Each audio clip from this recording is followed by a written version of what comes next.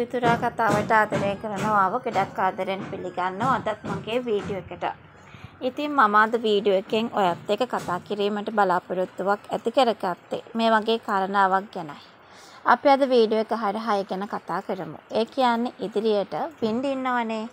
ඔය වින්ඩි රක්ෂණය ගන්න බලාගෙන ඉන්නවනේ. ඒ රක්ෂණය වින්ඩිට අහිමි වෙන්නේ කොහොමද කියලයි මට අද වීඩියෝ එක හරහා ඔයත් එක්ක කතා කිරීමට තිබෙන්නේ.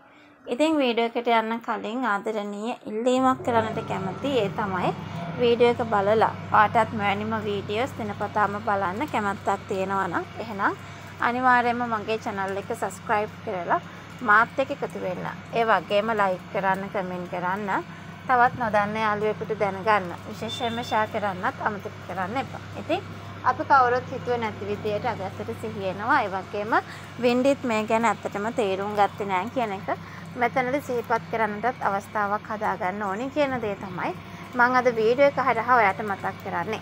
ඉතින් ඒ දේත් එක්ක අපිට ඉදිරියේදී මෙන්න මේ වගේ කාරණාවක් දැක් ගන්නට පුළුවන් වෙනවා කියන දේ ගැන විශේෂම කාරණාවක් අපිට දැක බලා ගන්නට අවස්ථාවක් තියෙනවා කියන දේ අපි මේ වෙලාවේදී විශේෂම කාරණාවක් විදිහට කතා කරන්න කැමතියි.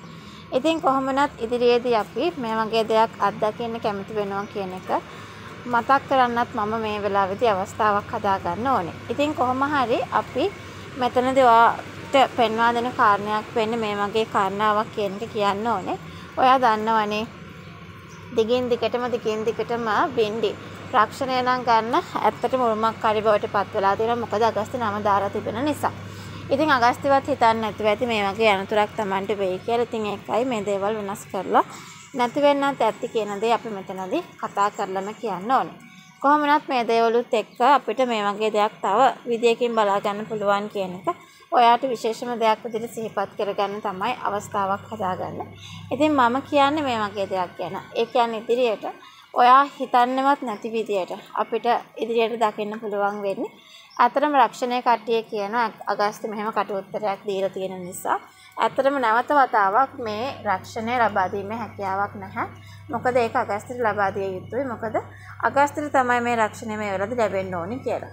ඉතින් ඒ කොච්චර කිව්වත් මේ කට්ටිය මේ දේවල් අගස්ති මේ විදිහට සිහියයි කියලා වෙන්නේ හිතුවේ නැති නිසා සහ පොලිසියත් මේ දෙයට මැදිහත් වෙන නිසා ඇත්තටම මේ වෙලාවේදී ලොකු කරදරයකට පත් වෙන ආකාරය අපිට දැක බලා ගන්නටත් අවස්ථාව උදා වෙනවා කියන කාරණය තමයි මම අද වීඩියෝ එක හරහා ඔයත් එක්ක කතා කරන්න බලාපොරොත්තු වෙන්නේ. ඉතින් කොහොම වුණත් ඉදිරියේදී සුවිශේෂී කාරණාවක් විදියට දකින්න වගේ මහන්නත් අවස්ථාවක් උදා කරගන්න පුළුවන් වෙනවා. ඒ කියන්නේ ඔයා දන්නවද? අපි කවුරුත් හිතන්නේ නැති විදියට වින්ඩිට මේ වෙලාවේ රක්ෂණය අහිමි වෙන්නේ. මොකද වින්ඩි බොරුවක් කරලා තියෙන හින්දා.